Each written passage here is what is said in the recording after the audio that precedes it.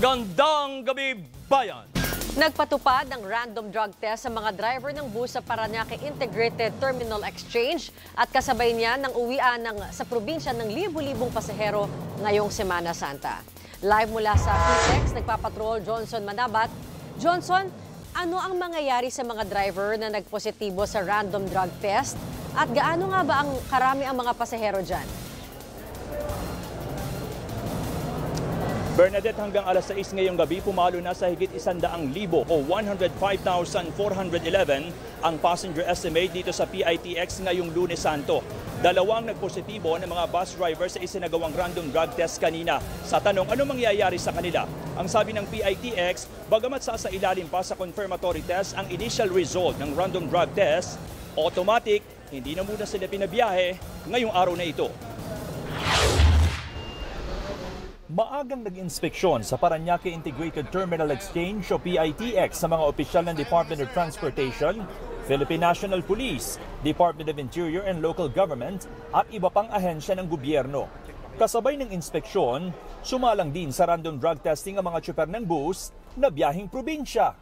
Kabilang dito si Gilbert na nasanay na rin sa taong-taong random drug testing sa halos tatlong dekada niyang pagiging bus driver. Mas maganda yon kasi kaligtasan din ng pasahero natin. Ba't kakabahan? Wala ka naman ginagawang Ano bang bisyo. Sa unang 80 bus drivers na sumalang sa random drug testing, mayroon agad nagpositibo. Ginagawa natin ito regularly kasama yung pag-check ng roadworthiness ng mga sasakyan upang magkaroon ng peace of mind yung ating mga kababayan na mabiyahe. At the same time, para matiyak na maging ligtas yung kanilang paglalakbay. Kampante naman ng maraming pasahero na dumadaan sa inspeksyon ng mga bus driver at ang mismong bus na kanilang sasakyan pa uwi. Hindi kami sasakay. Kasi di ba nag-drugs yung makatakot eh. Di ba na-drug test na? sure. Kasi ano eh, magdadag sa ano yung mga pasahero pag ano, pag bukas pa ako umalis, balikan nga lang po ako. Wala akong reservation kasi. Ayon pa sa DOTR, tiyakin din dapat na legal at hindi kolorum ang mga sasakyan pa uwi. Iwasan po natin sumakay sa mga kolorum na sasakyan dahil ah, hindi tayo sigurado kung ito ay ah, roadworthy no? and sumusunod doon sa mga alituntunin ng ah, LTO at ng LTFRB. Tiniyak naman ng PNP na handa sila ngayong Semana Santa. Wala tayong natanggap na threat but uh, still our uh, preparation or deployment of the police personnel, uh, ina-assume natin na talagang uh, uh, yung uh, worst scenario ay andyan. We made it sure that fully complemented lahat yung mga ports, airports, terminals, May babala naman ng DICT sa publiko na planong magbakasyon dahil masigasig din ang mga scammer ngayon. paki-advise po ang inyong mga anak. Huwag niyo po ipopost sa social media na wala kayo sa bahay dahil makikita po ng mga magnanakaw na walang tao sa bahay. Sasamantalahin naman ng MMDA ang mga araw na walang pasok simula sa Miyerkules para magpatupad ng road repair sa Metro Manila. Starting Wednesday 11 p.m., i-allow na po ng MMDA ang lahat po ng road digging sa buong Metro Manila 24 hours hanggang Monday po yan. Ayon sa PITX, noong biyernes, umabot sa 130,000 ang passenger estimate dito at bahagya itong bumaba nitong Sabado at Linggo. Bernadette sabi ng PITX, sinatayang papalo pa sa 1.7 million ang passenger estimate dito sa PITX mula yan March 22 hanggang sa April 1 o Easter Monday. Sa ngayon, silipin po natin ang daloy ng trapiko sa ilang bahagi ng Osmeña Highway sa Pasay going sa South Luzon Expressway o SLEX. Good news pa rin naman dahil light traffic pa ngayon na magiging biyahe patungo ng SLEX. Para po naman sa mga papunta ng North Luzon Expressway o ng NLEX ngayong rush hour na at Lunes Santo, sa Balintawak Toll Plaza, mahaba na rin ang pila ng mga palabas ng Quezon City at patungo ng Norte. Mas mabagal ang pila sa outermost lane sa kanan po yan na inyong mga screen dahil sa cash lane ito, kaya medyo mas matagal ang transaksyon kumpara sa RFID lane sa kaliwa. Sa Mapulang Lupa sa Valenzuela City, bagamat may volume na rin ang mga sasakyan, umuusad pa rin naman ang traffic. Magaan pa rin naman ang mga sasakyan dyan sa bahagi ng Mindanao Toll Plaza, ngayong Lunes Santo. Bernadette. Maraming salamat, Johnson Manabat. Nagsimula ng dumami ang mga pasahero sa mga paliparan at pantalan ngayong Semana Santa. May paalala ang pamunuan ng airport sa mga pasahero para masigurong komportable at maayos ang kanilang biyahe. Live mula na iya Terminal 3, nagpapatrol si Jackie Pascual. Jackie, kamusta ang sitwasyon sa airport? Mahaba na ba ang pila sa mga immigration? Zen, maraming pasahero na ang bumiyahe ngayon papuntang probinsya para iwasan ang inaasahang siksikan sa airport sa mga susunod na araw. Nagsagawa naman ng fire drill ang isang airline.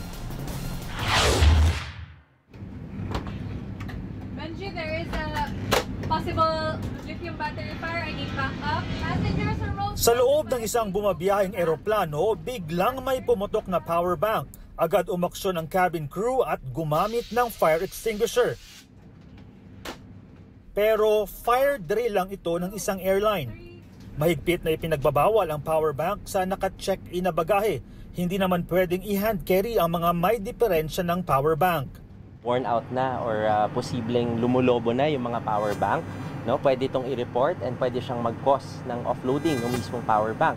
Hanggang 100 watt-hour power bank lang ang pwede sa flight sa lahat ng airlines. Kapag walang label, hindi ito papayagang dalhin sa flight.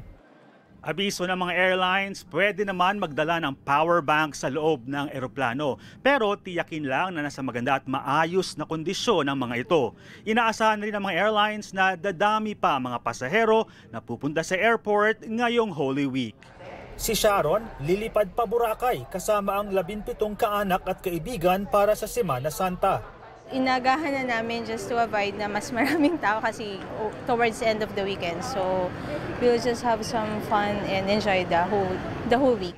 Nag-abiso naman sa mga pasahero ang pamunuan ng airport at mga airline. Sa ating pong mga pasahero, patience lang po. Talagang, kumbaga, eh, doble po ang traffic ngayon. Come early please. As much as possible, travel light, lalo na yung mga pupunta sa resort.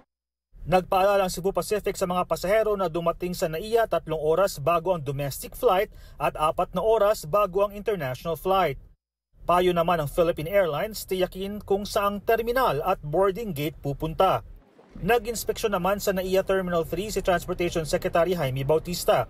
Anya, mas malinis ngayon ang airport. Plano ngayon ng Department of Transportation na bawasan ang mga upuan sa arrival hall dahil marami ang umano'y nakatambay doon. Kung po pwede, wag naman masyadong marami yung sumusundo. No?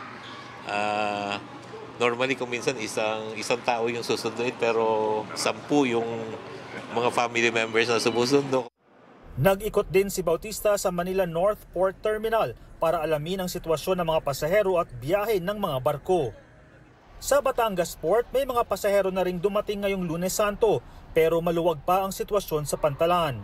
Eh kasi sir, baka ano, maraming pasahero kaya ano, nag ano kami ng maaga para baka mamaya maiwan kami ng barko. Inaasahang dadagsa mga pasahero sa mga pier at sa airport sa darating na Miyerkules Santo. Zen, isang milyong pasahero ang inaasahan sa NAIA ngayong Holy Week. Ang peak day nito ay sa Miyerkules Santo. Zen, balik sa'yo. Jackie, kamusta naman ang traffic sa paligid ng NAIA? Ngayon, Zen, actually sa gilid ko, sa tabi ko, makikita dito na marami ng mga sasakyan ang tuloy-tuloy na pumapasok dito sa NAIA Terminal 3. So far, normal pa ang sitwasyon pero Zen, inaasahan sa mga susunod na araw, lalo na sa Miyerkules Santo, na talagang dadami o ano, mga pasahero dito sa NAIA Terminal 3. Zen? Maraming salamat, Jackie Pascual. Samantala, isang prosesyon ng mga imahe ng Nazareno at mga santo ang idinaraos ngayong Lunes Santo sa Intramuros, Maynila. Live mula sa San Agustin Church, nagpapatrol si Jack Batallones. Jack, maraming tao ba ang lumahok sa prosesyon at tapos na ba? Well, Zen, no, as actually bago tayo umere ay kakalabas lang ng lahat ng mga imahen na kasama sa parada kakalabas lang nila ng San Agustin Church. Diyan nahuli yung pagsisimula, na pagsimula nitong prosesyon dahil tinapos muna yung banal na misa. Kaya marami-rami din yung nakilahok ngayon sa tradisyong ito na ginagawa nila Zen tuwing Holy Monday. Diyan hindi bababa sa labing anim na malalaking imahen ang sinama sa parada. Kabilang dito ang mga imahen ng San Pedro, ah, Nazareno, San Juan, Mater Dolorosa at marami pang iba. Galing dyan sa iba't ibang simbahan ng mga ito at pinapahiram tuwing may prosyon. Mula rin sa iba't ibang syudad at lalawigan ang mga sumali sa parada. Para sa kanila, kahit mahirap ang biyahe at mabusisi ang paghahanda rito, sulit naman daw ang pagod. Ang iba naman na hindi makakasama na kontento na lang na mag-abang na dumaan sa kanilang kalye ang prosesyon. Kung akong tatanungin niyo po, gusto kong sumali, but my age is 80, baka po matraffic ang ano sa akin, mahina po akong lumakad. Pero sumusuporta po ako.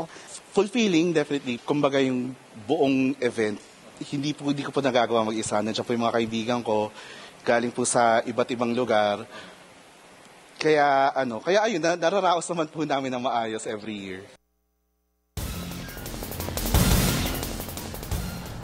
Okay, Zen, no? Paalala lang sa mga may lakad dito sa area ng Intramuros. Sinabisuhan kayo na maraming kalsada ang isinara dahil nga dun sa parada ng ruta. At ngayon nga, dahil kakalabas lang, so medyo mahaba, hahaba pa yung oras ng road closure sa lugar na ito. At sa mga hindi naman nakasali sa prosesyon ngayong araw, Zen, bukas, ah, Holy Tuesday, may isa pang prosesyon, pero ang kasama lang doon ay ang Nazareno at ang imahen ni Santa Veronica. Zen. Okay, maraming salamat, Jack Batallones.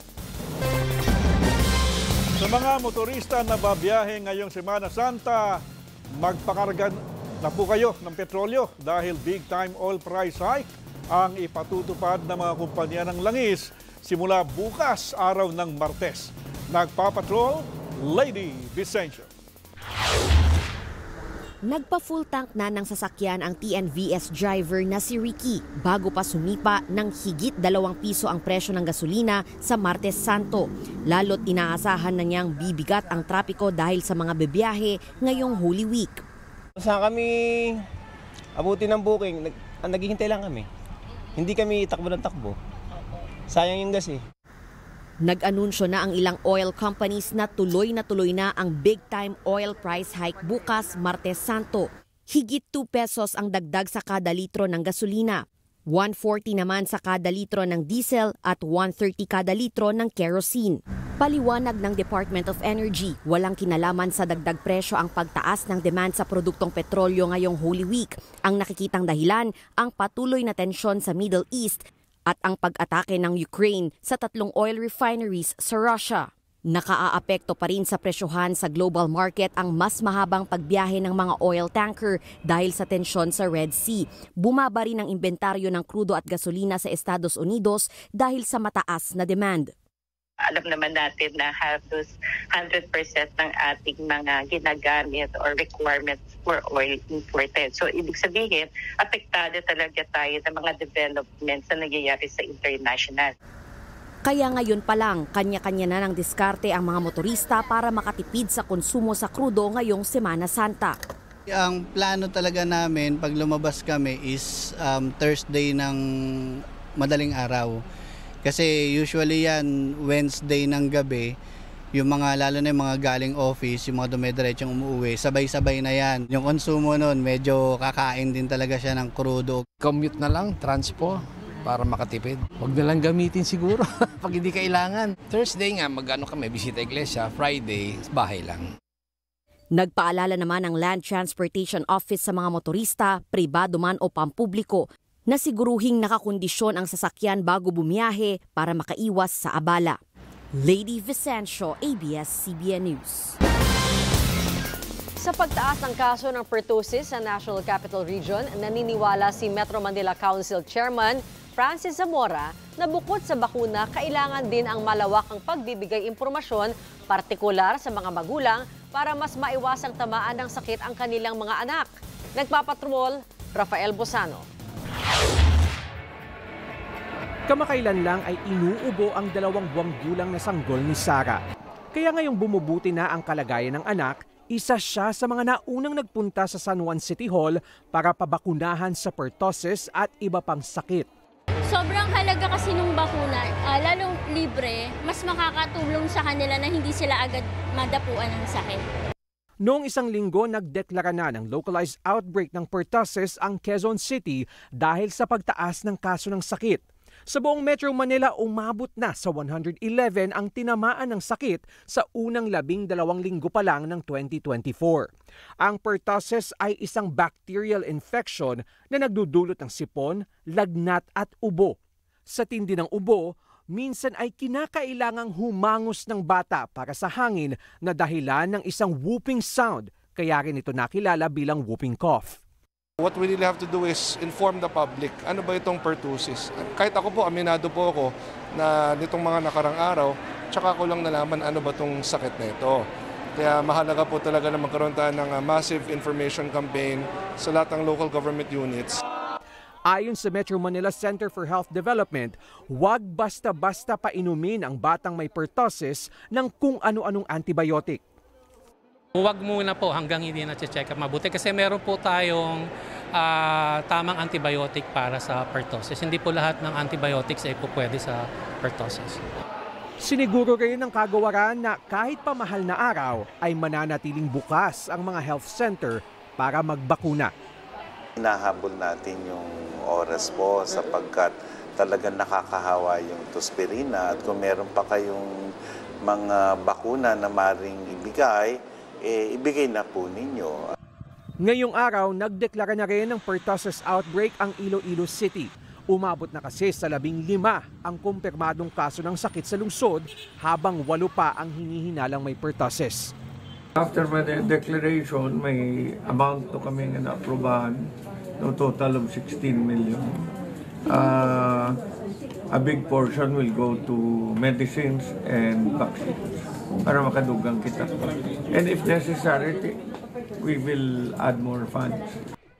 Para sa mga eksperto, higit na makabubuti para sa lahat ang patuloy na pag-iingat at pagkakaroon ng sapat na kaalaman para maiwasang tamaan ng pertussis. Rafael Bosano, ABS-CBN News. Nabuo ang isang mahinang buhawi sa loob ng isang eskwelahan sa Zamboanga City noong biyernes ng hapon. Ikinagulat ng mga mag-aaral ng Tetuan Central School ang biglang paglitaw ng buhawi o dust devil sa kanilang school grounds. Ang ilan nga sa mga mag-aaral ay nagsitakbuhan papalayo. Pero hindi naman nagtagal ay nawala rin ang buhawi. Paliwanag po ng mga eksperto na bubuo ang dust devil sa patag na lupa at kapag mainit ang panahon, umaakyat ang hangin mula sa mainit na lugar at humahalo sa malamig na hangin.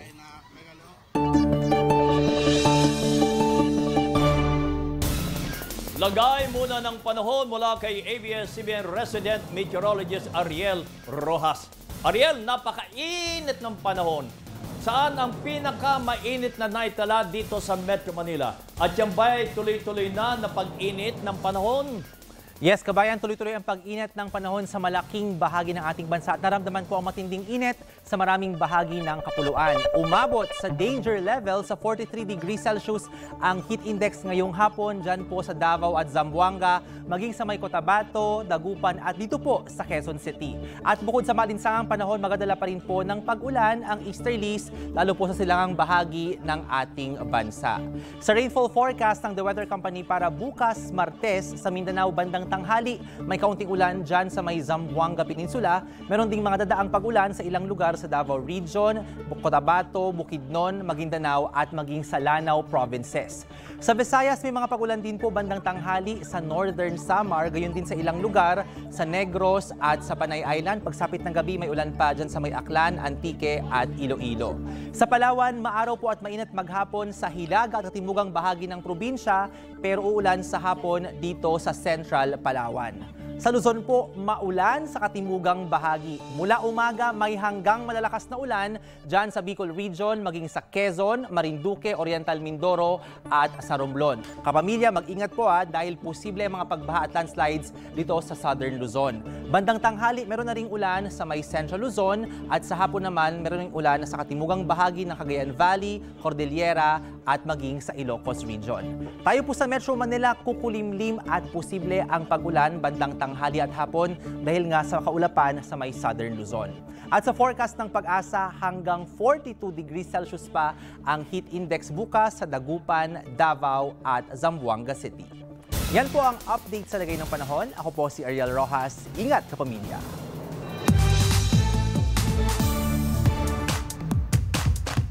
Gretchen, matapos ang sunod-sunod na parangal, ano ang update kay popstar royalty Sara Geronimo?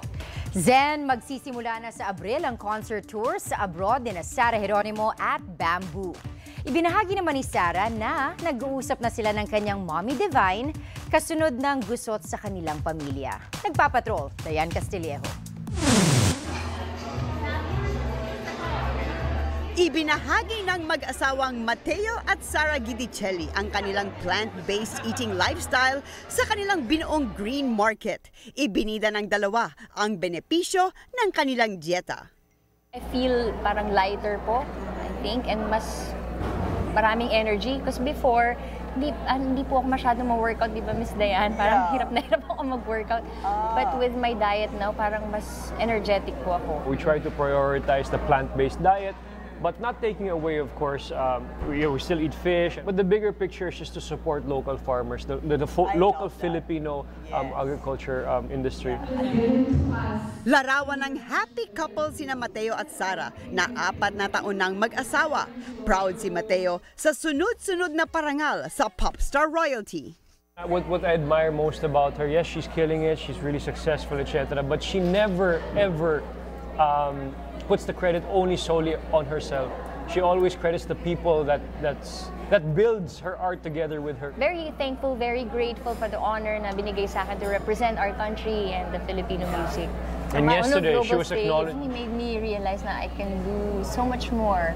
Na parang, I can be so much more. Thankful sina Mateo at Sara sa kanilang mga magulang na anilay malaking bahagi ng kanilang tagumpay. Totoo naman, ang mga mommies po natin ang heroes natin, our parents. Yeah. Yeah. Heroes natin. Uy, um, we should congratulate you sa nag-uusap na kayo with your mom, Sarah. Yes, yes. Thank you, Lord. Di ba That's po? so good to Yes, I love you, Ma. Love you, ma. love, every, we love our moms, right? Ayon kay Sara, nagbibigay rin ang kanyang mommy divine ng mga tanim mula sa kanilang farm. Mama ko din po nagsisell ng ano niya, mga Organic, fresh uh, produce yeah, niya. Your Pro- mom is selling ah, Mga gulay, from gulay, their farm. opo, Yeah, yeah. fruits. Ah, Bigyan ako ni Mama. Yeah. yeah. Red rice, ganyan. Looking forward na rin sina Mateo at Sara na mag-umpisa ng kanilang sariling pamilya. Marang hindi ko lang kaya po yung lima. Yeah, one or two will be great, you know. Paano po ibigay? be athletes, uh, Ah, dapat. or what? Parang ano, sports talaga kailangan po sa mga bata. Excited na rin ang dalawa dahil bukas ipagdiriwang ni Mateo ang kanyang 34th birthday. Sa gitna naman ng masayang buhay mag-asawa, tuloy ang kani-kanilang busy career. Si Sara aarangkada sa susunod na buwan ang concert tour kasama si Bamboo sa Middle East, Australia at Europe. Diane Castillejo, ABS-CBN News. Abangan ang buong panayam sa mag-asawang Sara Geronimo at Mateo Gudicelli sa news.abs-cbn.com at sa YouTube channel ng ABS-CBN News.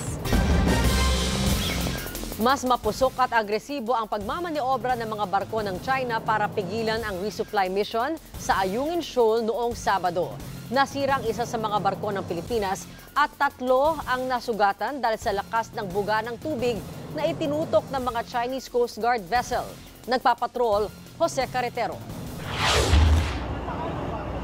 Hindi pa pumuputok ang araw pero agresibo na ang galaw ng mga barko ng China habang papalapit sa bahagi ng Ayungin Shoal ang resupply boat na unay sa May 4 at ang dalawang escort vessels ng Philippine Coast Guard na BRP Cabra at BRP Sindangan.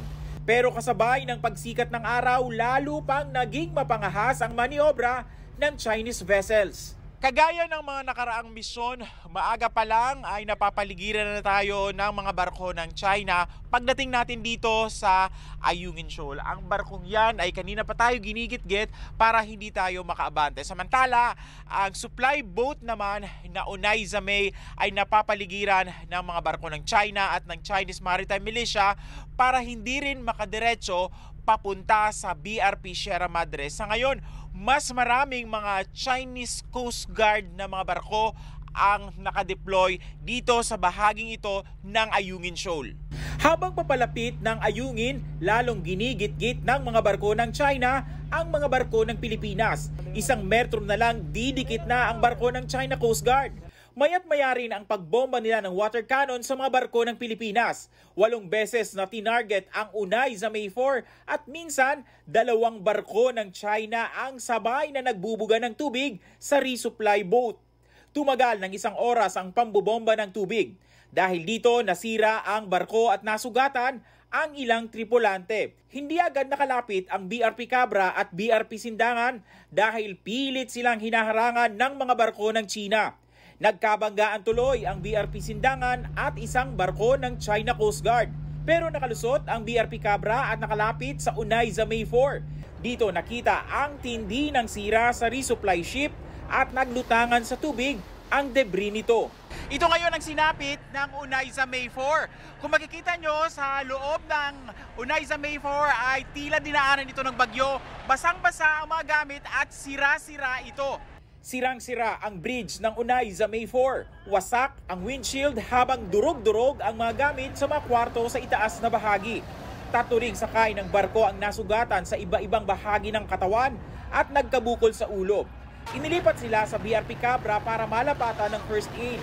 Sabi nila, mas matindi ang pinagdaanan nila ngayon kumpara noong una silang bombahin ng tubig noong March 5. Ah, malala talaga ngayon, sir. Sobrang lakas sir, baka sipa ng kabayo yan eh. Naghanap ako sir ang mataguan pero wala akong mataguan sir kasi wasak na yung mga kwarto namin. Sa kabila ng nangyari, naihatid pa rin ang mga naisalbang supply na pagkain para sa mga sundalo sa BRP Sierra Madre gamit ang speedboat ng Philippine Navy mula sa BRP Sierra Madre. Pasado alas 12 ng tanghali, bumalik ang tatlong barko sa mainland Palawan. Pagdaong, agad na isinakay ang mga sugatan sa naghihintay na ambulansya. Jose Caritero, ABS-CBN News, Palawan. Nagpalitan naman ng mga protesta at posisyon ang Manila at Beijing kaugnay sa muling paggamit ng China ng water cannon sa West Philippine Sea. Hamon ni Defense Secretary Gilbert Teodoro, humarap na lang ang China sa arbitration court kung tiwala ito may basehan ang kanilang pagangkin sa halos buong South China Sea. Nagpapatrol, Katrina Domingo. Hindi natitinag ang Pilipinas sa patuloy na panghaharas at pagbabanta ng China sa West Philippine Sea. Iginiit ni Defense Secretary Gilberto Teodoro na hindi Pilipinas naman ang nang-udyok para birahin ang water cannon ng barko ng China ang resupply vessel ng Pilipinas na unay sa May 4 na papuntang Ayungin Shoal at ikinasugat ng tatlo na sakay nito noong Sabado. Tayo ang hinaharang. So anong gagawin natin? Titihaya na lang? Hindi naman siguro pwede. Kung talaga siguro, hindi sila natatakot na ihayag sa buong mundo ang kanilang claim, bakit hindi tayo magpa-arbitrate sa ilalim ng international law para maliwanag sa lahat kung ano ang karapatan ng kahit sino? Bakit ayaw nila? Dagdag ni Teodoro, China lamang naman ang naniniwala sa sarili nitong propaganda na pag-aari nito ang halos buong South China Sea. Kasabay ng pagbatikos ng defense chief sa asal ng China sa isang banda, magkakasunod na diplomatikong hakbang ang isinagawa ng Department of Foreign Affairs. Ipinatawag ng DFA ang Chargé d'Affaires ng Chinese Embassy na si Zhao Xiyong upang ihain ang mariing protesta ng Pilipinas sa nangyari. Nagkausap rin sa telepono sina DFA Undersecretary Teresa Lazaro at Chinese Vice Foreign Minister Chen Xiaodong para iparating na hindi nagustuhan ng Pilipinas ang ginawa ng China. Sa Beijing, naghain ang embahada ng Pilipinas ng day march sa Chinese Foreign Ministry o formal na posisyon o paninindigan ng Pilipinas sa issue. Iginiit ng DFA na hindi katanggap-tanggap ang patuloy na panghihimasok ng China sa regular at legal na aktibidad ng Pilipinas sa loob ng sarili nitong exclusive economic zone na labag sa karapatan at jurisdiksyon nito. Pinaalis ng Pilipinas ang mga barko ng China malapit sa Ayungin Shoal sa lalong madaling panahon.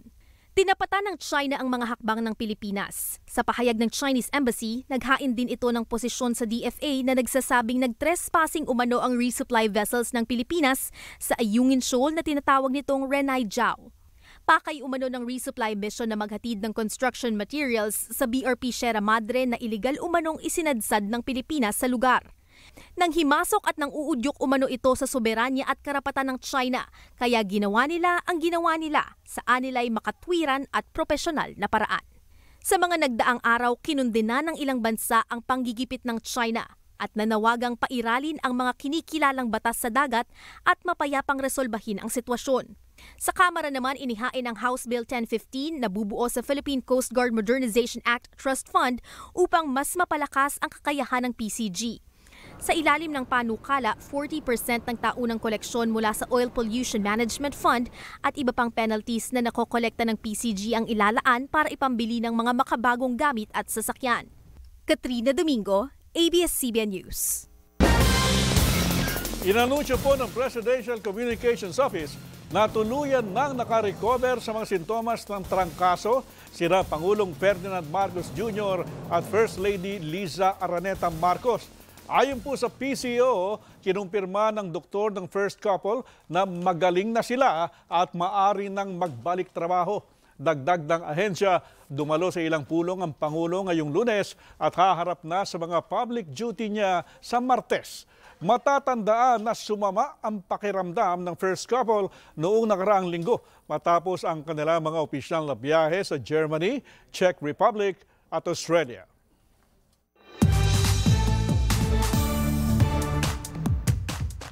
Nagtipon-tipon ng mga sikat na content creator na naging online seller sa isang shoppertainment platform. Ibinahagi rin nila ang sekreto kung bakit bentang-benta ang kanilang produkto. Nagpapatrol, Jeffrey Hernaez. Bukod sa mga nakakaaliw at informative videos, sumabak na rin sa pagbebenta online ng content creator na si Elma Asagra. Kinaaliwan ng kanyang style sa pagbebenta, kaya patok sa buyers ang kanyang mga produkto. Sa income po, dati hindi po ako nakaka-help talaga sa family. Ngayon, sir, hindi ko na po siya pinoproblema. Tiyaga lang din po talaga and ilabas lang po nila yung totoong sila. Ayan, tsaka awag pong panghihinayan ng loob. Isa lamang siya sa libu-libong content creator sa sikat na shoppertainment platform na ito sa social media. Nitong biyernes, nagtipon-tipon ng ilan sa kanilang naging matagumpay na online sellers sa always trending na online shopping platform sa bansa. With Shoppertainment, we blend entertainment, which is the platform, with our shop um, experience. Marami sa kanila ang nabago ang buhay sa tulong ng affiliate program. Lahat ng brands, lahat ng sellers, and of course the creators can find a way to collaborate. Sila yung pwede nilang makonect. Tapos eventually, pwede silang kumita. Kailangan mayroon kang determination, kailangan talaga pagsiparan mo. If you put the work, you achieve success talaga eh. Payo nila sa ibang content creators, be yourself at ituloy ang pagbibigay saya at inspirasyon. At syempre, paglaanan din ng oras, tiyaga at effort ang pagbebenta online. Jeffrey Hernaez, ABS-CBN News. Nilamo ng apoy ang isang residential area sa Kapulong Street, Tondo, Maynila, linggo ng gabi. Sa bangketa na muna namamalagi ang ilan sa 50 pamilya na nawala ng tahanan. Nagpapatrol, Karen de Guzman. Nabalot ng naglalagablab na apoy ang magkakadikit na bahay na ito sa Kapulong Street, Barangay 107 sa Tondo, Maynila. Magalas 8 ng gabi nitong linggo.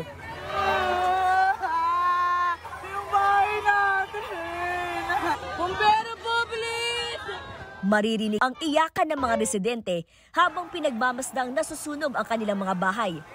Ayon kay Jason Lumapag, may-ari na nasunog na vulcanizing shop, natutulog siya nang magising sa init ng apoy. Dahil malaki na ang apoy, lakas loob siyang tumalon mula sa bintana sa Ketlong Palapag upang makaligtas. O, eh, yun na lang po yung daanan kasi yung daanan po dito sa hagdanan sunog na. Nagpaalalay po ako sa mga tropa para makatalon. Ah, kahit busan ng tubig, malakas na talaga. Hindi na makapula. Kumalat ang apoy sa mga katabing bahay na gawa sa yero at kahoy. Kaya agad ay tinaas ng BFP ang sunog sa ketlong alarma. Ibig sabihin, Hindi bababa sa labindalawang truck ng bumbero ang kailangan rumesponde. Light material siya, ma'am. Sa challenge po, maliit po yung skinita natin sa loob, pero sa pagtutulungan po ng Bureau of Fire at ng mga volunteers, napasok po agad natin loob.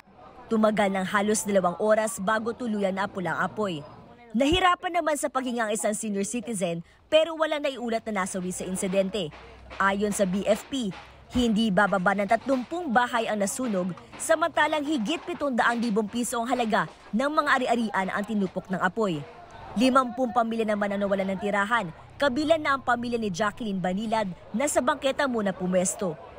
Siyempre po, mahirap. Pero may mga may anak kami maliliit.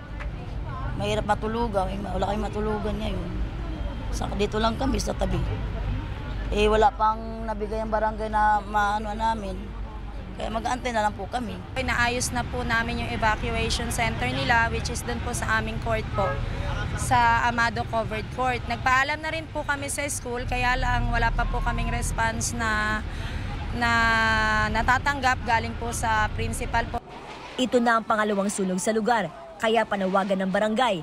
Mag-ingat lalo na't mas mataas ang panganib sa sunog sa panahon ng tag-init. Iniimbestigahan pa ng BFP ang sanhi ng sunog. Karen de Guzman, ABS-CBN News. Balik Pilipinas na si NBA Director Medardo de Lemos mula Timor-Leste matapos nga na madakip sa Timor-Leste si dating Congressman Arnulfo Teves Jr. Pero nabigo ang NBA team na mapauwi si Teves at sa ngayon, tiwala pa rin ang pinuno ng ahensya na may babalik din nila sa Pilipinas ang pinatalsik na kongresista. Nagpapatrol, Nico Bawa. Dumating nitong linggo mula sa Timor-Leste si NBI Director Medardo de Lemos kasama ang kanyang team. Babalik daw sila doon kapag nagpasya na ang korte ng Timor-Leste sa hiling ng Pilipinas na i-deport si dating Negros Oriental Congressman Arnolfo Teves Jr. Napakalaking bagay na pinuntahan natin sila. Kasi kung papel lang ang pag-uusapan, ay ang tagal na ng red notice list na yon. Bagamat nagpahayag ng suporta ang presidente ng Timor-Leste sa pagkakaaresto kay Teves, inamin ni De Lemos na hindi naging madali ang proseso mula sa pag-aaresto hanggang sa pagbisita kay Teves sa selda. Sa totoo niyan, yung paghuli sa kanya, kaya drone ang kinuha doon, pakiusap din na mabigyan tayo ng footage na yon. Officially ayaw nila. Uh, kasi ayaw din nung management ng golf course na magkaroon ng incident doon. Batay sa investigasyon ng NBI, dati nang bumibisita si Tevez sa Timor-Leste at pumunta ang dating kongresista doon maging sa Australia at Cambodia noong magsimula ang paghahanap sa kanya. Pero tumanggi munang sagutin ng direktor kung may impluensya si Tevez sa mga opisyal ng Timor-Leste. Ayaw kong sagutin ng tuwiran yan na Nico kasi babalik pa tayo doon. Hindi maganda ang magiging posisyon natin. Narefactual lang naman tayo. Nahirapan kami, hindi nahirapan lang. Karoon lang ng konting kwan, skirmishes, yung normal siguro na maging emotional sila. Emotional din kami kasi may objective tayo. Sa kanila, meron din silang proseso. Dating inakusahan ni Justice Secretary Jesus Crispin Remulla si Teves na may mga protektor na nagkakanlong sa kanya. Bagay na itinanggi ng kanyang abogado. Sabi ni Remulla a few months back that there are foreign warlords helping uh, out Teves. O nasan yung foreign warlords na yun? Eh, ba't puro Filipinong nakita? Oh, these people are lying to their teeth. Nilinaw rin ni Topacio na walang kaso si Tevez sa Timor-Leste, kaya siya malayang nakakalabas at maglaro ng golf. The fugitive in Timor-Leste is an applicant for political asylum. Uh-huh. That's why he is openly moving about. Eh, yun ang hindi nila maintindihan at uh, Mr. Tevez has committed no violation of any law in Timor-Leste. Naninindigan naman ang DOJ na dapat sa korte sa Pilipinas dinggin ang mga kaso ni Teves. Ito ay matapos sabihin ni Topacio na dadalhin nila sa UN Commission on Human Rights ang kaso ng kanyang kliyente. Sa ngayon, ang embahada na raw ang magmumonitor sa paglilitis kay Teves na posibleng abutin ng apat na pung araw bago magbaba ang desisyon ng korte. Nico Bawa, ABS-CBN News. Nagpaabot ng suporta at dasal si Pangulong Ferdinand Marcos Jr. sa Princess of Wales na si Kate Middleton. Sa kanyang post sa social media na app na X, sinabi ng Pangulo na kasama si Middleton sa ipinagdarasal ng mga Pilipino. Dalangin umano ng lahat ang maayos na kalusugan at patuloy na paggaling ng Princess of Wales, gayon din ang katatagan ng loob para sa royal family sa harap ng pagsubok na kanilang pinagdaraanan. Matatandaang nitong Sabado, inamin ni Middleton na sumasailalim siya sa preventive chemotherapy para sa kanyang cancer na nadiskubre matapos ang kanyang abdominal surgery noong Enero. Hiling niya ang privacy ng kanyang pamilya habang siya ay nagpapagaling. Humarap sa kanilang pre-trial detention hearing ang apat na sospek sa concert hall mass shooting sa Moscow, Russia. Pinag-utos ng korte na manatiling nakadetine ang mga sospek hanggang Mayo bago sila litisin sa kaso ng terorismo kasunod ng pamamaril na kinamatay ng aabot sa isang daan at tatlumput pitong katao. Ang naturang insidente ang sinasabing pinakamatinding pag-atake sa Europa na inako ng jihadist group na Islamic State o IS. Samantala, binunyag po naman ni French President Emmanuel Macron na naging target din ng IS ang France, ngunit nabigo ang grupo na isagawa ang binabalak nilang terror attacks.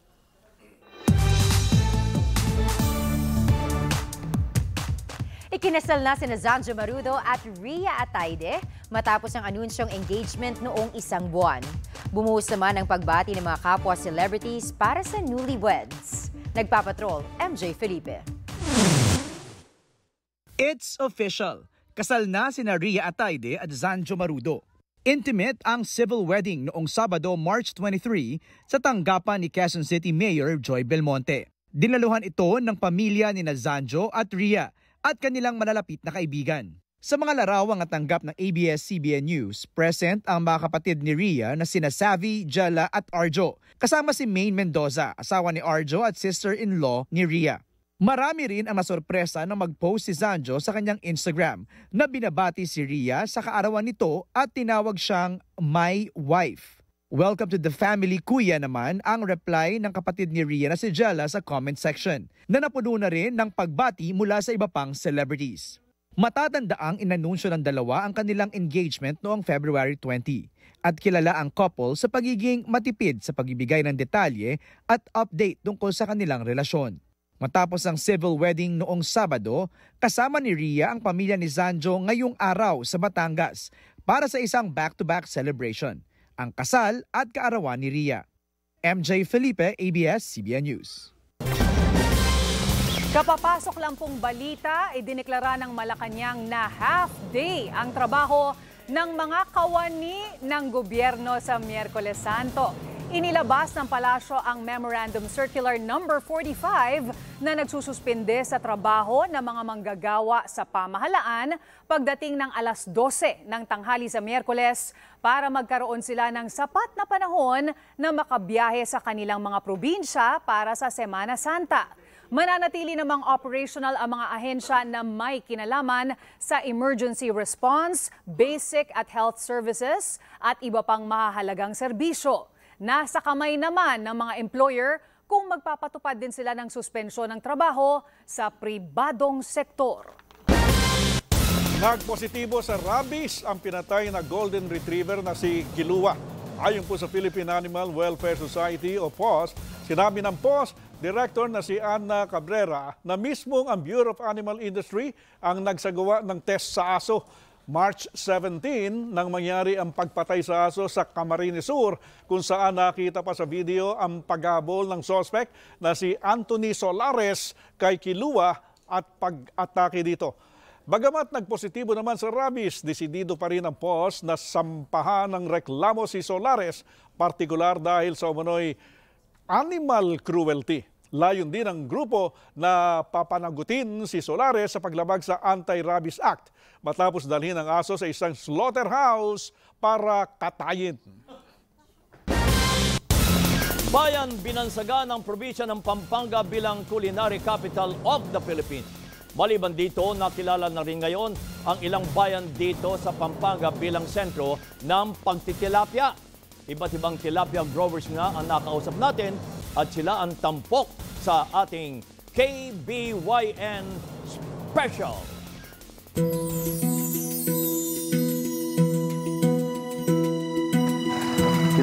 Dito sa San Simon, Pampanga, nakilala ng inyong lingkod si Paulo Briones na nawala naman ng trabaho noong kasagsagan ng pandemya. Kaya minabuti niyang muwi ng Pampanga para tumulong sa pag-aasikaso ng nasa mahigit 30 hektare nilang tilapia farm. Sa amin po, magkakapatid ako po kasi yung nahilig ko rin sa ganito. May field din po ako ng IT po. Yan, ayan po. Yan. Tiniyak ni na Paulo na bata at maganda ang kalidad ng kanilang breeders para magandang lahi rin ang makuha sa mga ito. Para ma-maintain yung quality, ah, ina- sinisiguro namin na yung ipoproduce nila is, ah, kumbaga hindi na lipas o hindi na matanda yung breeder. One year lang yan? Opo. So, fingerlings kayo? Opo. Nagbebenta kayo ng mga fingerlings? Yes ganun? po. Nagsusupply po kami ng Luzon, Visayas, and Mindanao. Ayon kay Paulo, hindi madali ang pagpapalago sa kanilang tilapia farm. Patuloy pa nga rin silang nagsisikap na makasabay sa mga pagbabago sa industriya ng pagtitilapia. Samantala, baha naman ang naging malaking problema ng isa pang may-ari ng tilapia farm na si George Carino. Mga bangus pala yung tumatalon eh. Silver po, silver. Haluan. Da- ano, dala ng tubig? Opo, nung binaha, binaha kasi. Ah, dala ng baha. Ganun pala yun. Silver ang tawag ni na George sa mga napahalo ring karpa dahil sa kulay ng nasabing isda. Kwento pa ni George, ngayon pa lang sila nakababawi sa problemang dinulot ng naturang baha. Dahil sa baha. Sa bayan ng Minalen, kabilang sa plano ng lokal na pamahalaan na gawing bahagi ng turismo ang kanilang industriya ng tilapia.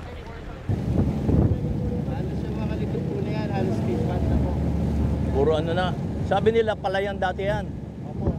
Nagsimula ang pagtitilapia sa Minalen matapos pumutok ang bulkan Pinatubo. Before po kasi ang talagang nasa polyculture po kami because brackish water po kasi Oh, kami dito. eh. oh. Kaya lang after the eruption of Mount Pinatubo, marami pong mga ilog Hmm. papuntang dagat ang mga nablak. Kaya hindi Naharang? na o naharang. Ang lahar? Opo. Oh. Kaya hindi na po makapasok ang tubig alat. So nag-ship po kami into tilapia. Bakit ng tilapia? Bakit? Ah, nasa ano ano po siya, eh, tubig tabang. Ngayon, ang bayan ng Minalen ay nagpo-produce ng nasa 50 hanggang 60 tonelada ng tilapia kada araw. Kasi po sa production, mas makakarami sila ng harvest. Oh. Pag ganun. Pero ang quality? Okay din naman po. So, anong plano pa ninyo in the future? Pagandahin yung ah, kalikasan.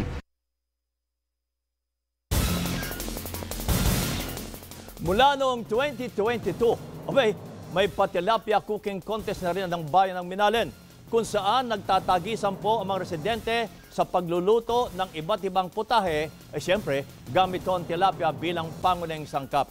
Isa na ito sa mga iniisip na paraan para ibida naman ang industriya ng uh, palaisdaan sa kanilang bayan.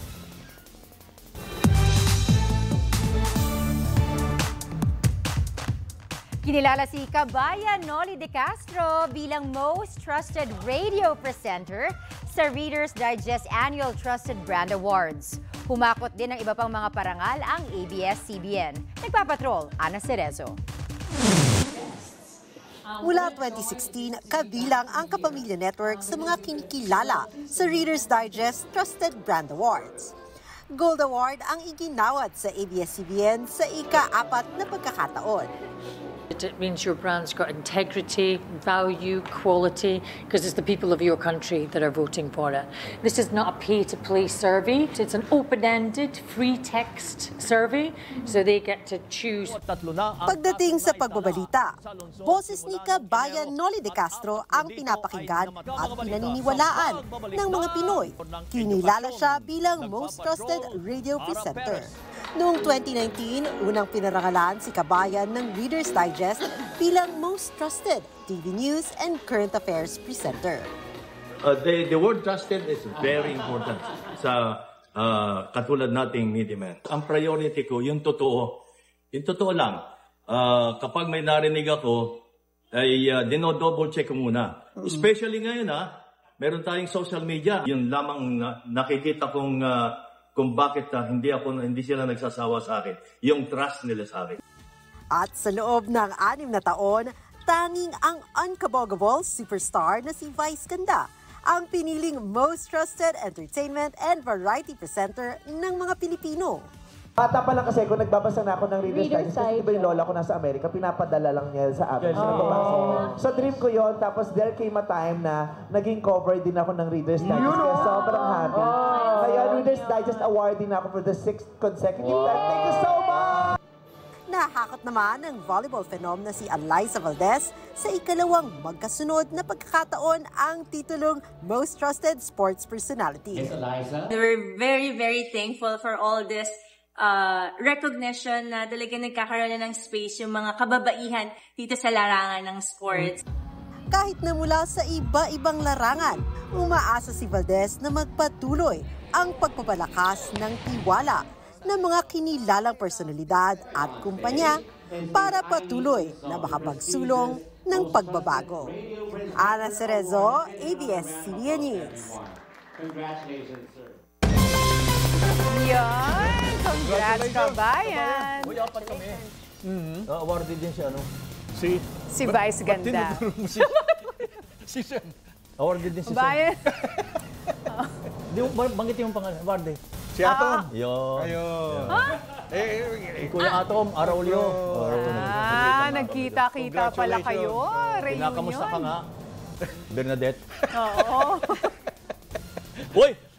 Lunes Santo na Ayun, ha? Bukas mataas ang gasolina. Ay, oo, nagpagas na Kaya ngayon pa lamang magkarga na kayo, mag ano na kayo. Ah, yung traffic, kanina nakita ko doon sa may ano, sa may Oo. Lex. Traffic na ngayon. Ngayon pa lang, ha? Oo. Ngayon pa lang. Oo, traffic na. Eh, di ba simula pa nung Friday, Mag-iingat po tayo, siguraduhin ho natin, sasakyan natin, nasa kondisyon. Pati ho yung driver, ha? Kita mo nangyari sa Cotabato ba yun? Lungkot Ay, grabe yun. Ay, Labing oo. Eh, pito ang grabe patay. naman yun. Nasa kurbada, umu-overtake eh, di ba? Eh, alam mo naman yung mga ah, driver ng truck. Ingat tayo. Ingat Ay, di ba lahat. doon sa bus, marami natuklasan ng mga nakadrugs. Yung, yung Ayan. bus ng pambiyahe. na Oo, pambiyahe. Oh, nag-inspection test. sila. Oh, yun. May natuklasan. Kaya nakakatakot din. Ingat na lang ho kayo ha. Sa Boracay, gusto lang namin i-report sa inyo. Ah, by this time, almost 100% na po. Full Oo, capacity. Full, full capacity na ho. Kaya wala na kayong makikita ang dagat.